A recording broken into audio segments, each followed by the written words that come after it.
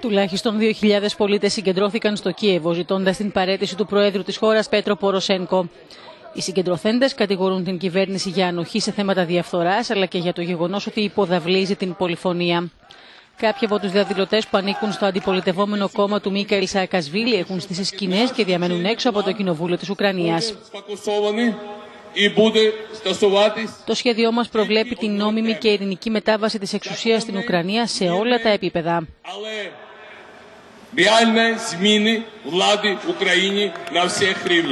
Ένα από τα βασικά ζητούμενα των διαδηλωτών είναι η σύσταση ανωτά του δικαστηρίου για την πάταξη της διαφθοράς, αλλά και η κατάργηση της ασυλίας για τους βουλευτές.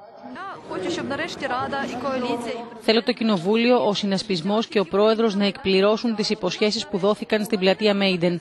Να αλλάξουν το εκλογικό σύστημα και να κάνουν ξεκάθαρες λίστες για τις εκλογές.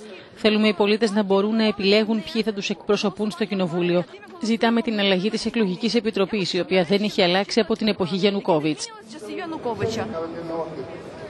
Τους τελευταίους μήνες το κόμμα του Μίκαελ Σαακασβίλη συνεργάζεται με εκείνο της Γιούλια Τιμοσέγκο με σκοπό την ανατροπή της κυβέρνησης Poroshenko.